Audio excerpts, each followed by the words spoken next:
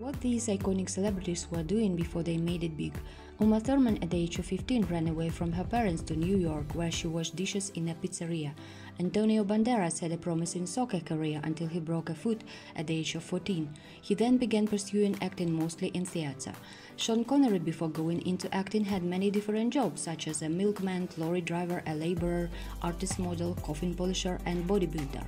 Marilyn Monroe at her 16 worked in a munitions factory until she became a pin-up model, signing a contract in 1945 with a model agency. Elvis Presley drove a delivery truck before he became famous. He often worked at a theater and at a few hardware or metal stores.